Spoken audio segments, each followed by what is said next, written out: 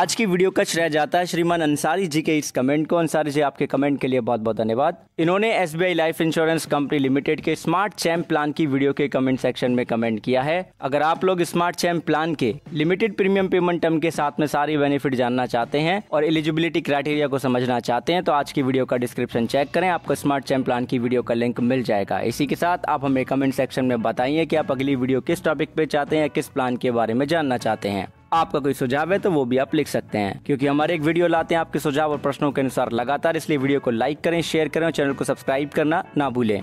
Hello everyone बहुत बहुत स्वागत है आप सभी का। आप देख रहे हैं यू द रियल मैं हूँ आपका अपना निजी सलाहकार अमित राज शर्मा। चलिए जानते हैं एसबीआई लाइफ के स्मार्ट चैंप इंश्योरेंस प्लान के सिंगल प्रीमियम के केस में क्या बेनिफिट होंगे? तो बेनिफिट की बात करते हैं सीधा। पहला जो बेनिफिट है, उसे कहा गया है स्मार्ट बेनिफिट जिसे हम सर्वाइवल बेनिफिट कहें या मनी बैक बेनिफिट कहें तो हम आराम से समझ पाएँगे। अभी जो सर्वाइवल बेनिफिट है, इसकी जो प्रथम किस्त होती है, वो आपके बेसिक सम अशॉर्ड का 25 प्रतिशत प्लस वेस्टेज बोनस, यानी कि सिंपल रिवर्सनरी बोनस जो throughout the policy term collect होता रहता है, उसका भी 25 प्रतिशत आपको मिलता है। और इस तरीके से आपको तीन किस्त मिलती है, इसलिए मैंने यहाँ पे मल्टीप्लाई बाई थ्री कर दिया है, जो कि मेचोरिटी से पहले आपको मिल जाती है। यानी कि मेचोरिटी आने के जो तीन साल पहले होते हैं, उसमें आपको किस्त मिलती है।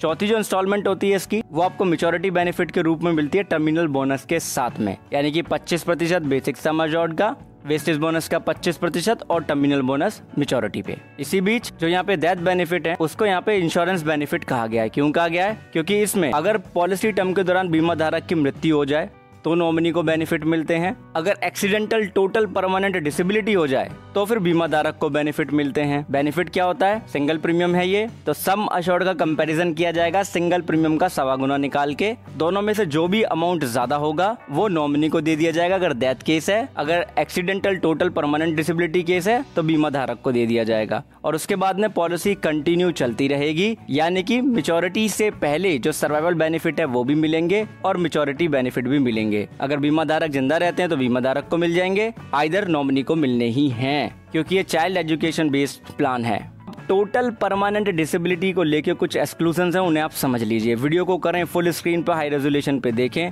तो सबसे पहला पॉइंट है यहाँ पे इन्फेक्शन का। अगर एक्सीडेंट से घाव बना है, उसमें इन्फेक्शन हुआ है, उसकी वजह से डिसेबिलिटी हो जाती है टोटल परमानेंट तो वो तो अंडर द कवर होगा। बाकी इसके अलावा अदर को इन्फेक्शन हो जाता है। वो अंडर द कवर नहीं होगा। फिर आता है दूसरा पॉइंट ड्रग अब्यूज अब ड्रग अब्यूज आपको पता ही है, कोई भी नशीला पदार्थ का इन्फ्लुएंस होना, उसकी वजह से एक्सीडेंट हो जाना और टोटल परमानेंट डिसेबिलिटी हो जाना तो वो अंडर द कवर नहीं है। अगर डॉक्टर ने कोई मेडिसिन लिखी है, वो ली हुई है इन केस ऑफ़ इमरजेंसी तब ऐसा कुछ हो जाता है तो फिर वो अंडर द कवर होगा।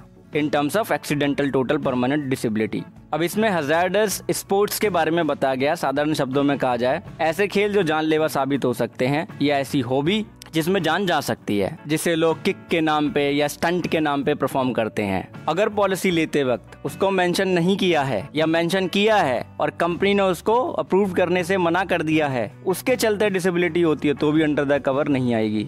इसी के साथ में हमारी खुद की इच्छा से कोई भी ऐसा काम जिससे हमें इंजरी हो जाए और उससे हमें टोटल परमानेंट डिसेबिलिटी हो जाए, वो भी अंडर द कवर नहीं आएगा। इसी के साथ में कोई भी क्रिमिनल एक्ट है, जो एज पर द जो हमारा कानून है, उसके अनुसार इलीगल है अनलॉफुल है, तब हमें एक्सीडेंटल टोटल परमानेंट डिसेबिलिटी हो जाती तो भी अंडर द कवर नहीं आएगा। फिर पॉइंट नंबर फार फाइव है यहाँ पे वॉर को लेके और सिविल कमोशन को लेके। यानी कि युद्ध हो जाता है इन्वेजन हो जाता है, या बंदी बना लिए जाते हैं, चाहे वार घोषित हुआ हो या ना हुआ हो, या सिविल वॉर हो जाती है, या कोई रिबेलियन ग्रुप है कंट्री का, वो आपको किडनैप कर लेता है। या सिविल राइट्स हो जाते हैं। ऐसे में आपको एक्सीडेंटल टोटल परमानेंट डिसेबिलिटी होती है तो भी अंडर द कवर नहीं आता। Nuclear contamination. अब आपको पता है कि कंट्री में कोई ना कोई ऐसी जगह रहती ही है, जहाँ पे गवर्नमेंट वहाँ पे टेस्ट वगैरह करती रहती है और वो नो गोन जोन होते हैं। अगर हम वहाँ पे जाते हैं और न्यूक्लियर कंटेमिनेशन हो जाता है किसी भी तरीके से तो वो भी अंडर द कवर नहीं आएगा। इसी के साथ में एविएशन को लेके एक टर्म है यहाँ पे, अगर आप पैसेंजर हैं और कमर्शियली लाइसेंस एयरक्राफ्ट में बैठे हैं,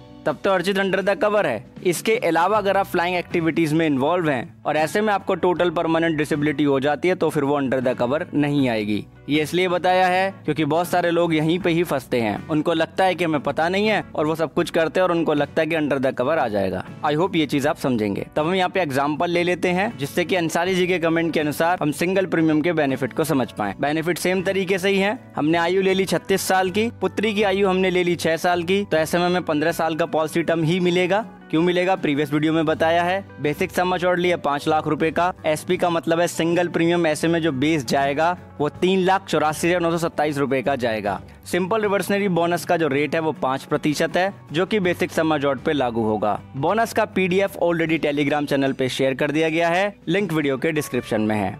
एस आर का मतलब है सिंपल रिवर्सनरी बोनस पीरियड बारह साल का होगा, क्योंकि पॉलिसी के अंतिम के जो तीन साल होंगे, वहाँ पे सिंपल रिवर्सनरी बोनस नहीं मिलता है। तो ऐसे में 12 साल में सिंपल रिवर्सनरी बोनस जो इकट्ठा हो जाएगा, पाँच लाख का पाँच प्रतिशत निकालेंगे तो पच्चीस हज़ार हो जाएगा। उसमें बारह का गुणा करेंगे तो तीन लाख रुपए का यहाँ पे वेस्टेज सिंपल रिवर्सनरी बोनस हो गया। अब जो सर्वाइवल बेनिफिट पीरियड है, वो पॉलिसी के लास्ट तीन साल हैं। लास्ट तीन साल में जो इनकी बेटी है, उनकी आयु 18 साल से लेकर के 20 साल के बीच में हो जाएगी। तो जैसे ही इनकी बेटी 18 साल की होंगी, इनको दो लाख रुपए मिल जाएँगे। अगर बोनस रेट यही रहा तो। कैसे आप स्क्रीन पे देख रहे हैं? पच्चीस प्रतिशत निकाला बेसिक समझ का, पच्चीस प्रतिशत निकाला हमने तीन लाख रुपए के बोनस का। राइट राइट ठीक, उन्नीस साल की उम्र में भी दो लाख रुपए मिलेंगे और बीसवे साल की एज पे भी दो लाख रुपए मिलेंगे। तो total sum of as benefit यानी कि सर्वाइवल बेनिफिट छह लाख रुपए का मिल चुका होगा मेचोरिटी से पहले इनको।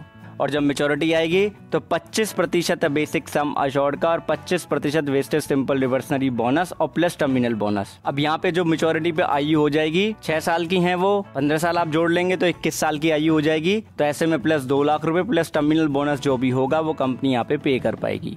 अब मान लीजिए बीमा धारक को पॉलिसी के सात साल बाद डेथ हो जाए या टोटल परमानेंट डिसेबिलिटी हो जाए तो ऐसे में बेसिक सम अशोर्ड का कंपैरिजन कर लिया जाएगा। एसपी यानी कि सिंगल प्रीमियम जो कि तीन लाख चौरासी हज़ार नौ सौ सत्ताईस रुपए का है, उसका एक सौ पाँच प्रतिशत निकाल लेंगे। तो चार लाख चार हज़ार एक सौ तिहत्तर रूपए पैंतीस पैसे का अमाउंट होगा। अब ये चार लाख चार हज़ार एक सौ तिहत्तर रूपए पैंतीस पैसे का अमाउंट पाँच लाख रुपए से कम है तो यहाँ पे जो सम अचोर्ड है पाँच लाख रुपए का, अगर एक्सीडेंटल डेथ है तो नॉमिनी को मिल जाएगा, और अगर टोटल परमानेंट डिसेबिलिटी है तो बीमा धारक को मिल जाएगा। इसके बाद पॉलिसी चलती रहेगी और एंड में सर्वाइवल बेनिफिट और मेचोरिटी बेनिफिट मिल जाएँगे। आई होप अब आपका डाउट क्लियर हो गया होगा। तो इसी बात वीडियो को लाइक करें शेयर करें। आपने वीडियो अंत तक देखा, उसके लिए बहुत बहुत धन्यवाद। एक चीज़ खुद भी समझें, दूसरों को भी समझाएँ कि इंश्योरेंस एक प्रोटेक्शन है प्रोटेक्शन कभी अधूरी नहीं लेते हैं। और प्लान जब भी आप लें, अच्छी तरीके से समझ के लें, क्योंकि जब आप बीमा को सरेंडर करते हैं या डिसकंटिन्यू करते हैं पॉलिसी टर्म के दौरान तो आपको यहाँ पे फिर नुकसान होता है। ठीक है? धन्यवाद, आप सभी का बहुत बहुत आभार। और मेचोरिटी तक कंटिन्यू रखते हैं, तभी आपको पूरे बेनिफिट मिल पाते हैं।